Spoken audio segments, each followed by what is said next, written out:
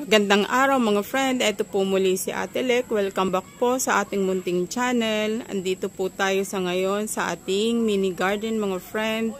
At andito po tayo sa puno ng bayabas. Medyo marami pong bunga ang ating puno. Yung iba po nakabalot ng plastic.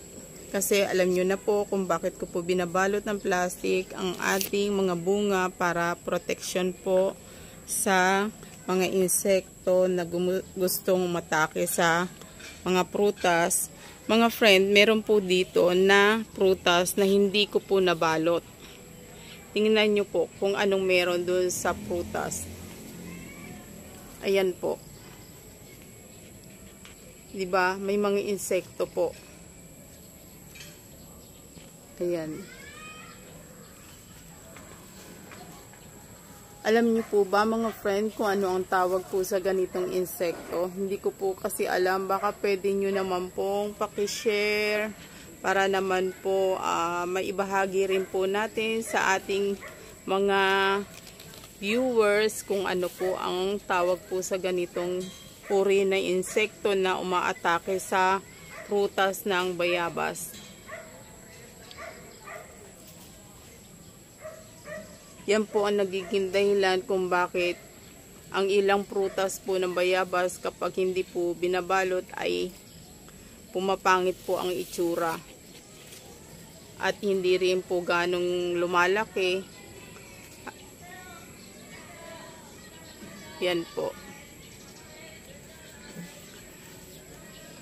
Mga friend, uh, shout out nga po pala sa UPLB students sa pangunguna ni Miss Luis Stephanie Umali.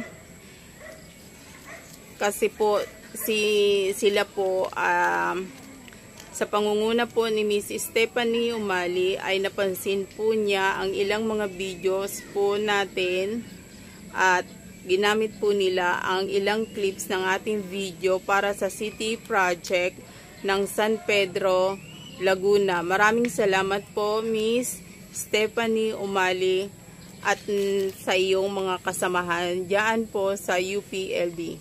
Maraming salamat po at lagi po kayo mag-iingat. Ito po si Ate Lek hanggang sa ating mga susunod na mga video. Sana ay makasama ko po kayong muli mga friend. Sana mag-subscribe po kayo mga friend. Ingat po kayo palagi.